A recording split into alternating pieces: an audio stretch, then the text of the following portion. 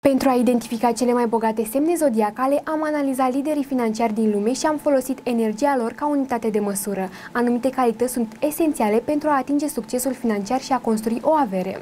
Anumite calități specifice fiecărei zodii pot fi asociate cu succesul, iar miliardarii lumii arată acest lucru. Pești. Peștii se regăsesc în mod frecvent în hărțile natale ale multor miliardari. Peștii sunt buni psihologi, empatizează și știu cum să se adapteze circunstanțelor. Intuiția lor îi ajută să observe noile tendințe înaintea celorlalți, ceea ce îi ajută să aibă succes pe piață. Peștii sunt dispuși să câștige și să folosească fluxuri financiare mari, dar este cel mai bine pentru ei să câștige sub îndrumarea unui mentor experimentat. Berbecul. Berbecii se află pe locul 2 printre cele mai bogate semne astrologice datorită energiei lor imense și a ambiției. Ei sunt lideri remarcabili, cu o înclinație naturală către competiție și mereu activi și hotărâți atunci când vine vorba de acțiune. Aceasta îi ajută să evite să se blocheze în dezbateri lungi sau în teorii excesive. Berbecii obișnuiesc să câștige primii bani încă din tinerețe. Ei iubesc riscuri și reușesc să-și crească capitalul. De asemenea, berbecii lasă adesea o moștenire considerabilă copiilor și nepoților lor. Scorpionul. Locul 3 este ocupat de scorpion. Aceștia sunt mari analiști cu voință titanică și energie incredibilă pe timp de criză. Foarte autoritari și duri, ei gestionează perfect echipe mari, știu cum să influențeze oamenii și la fel ca și peștii se bucură de puterea din umbră.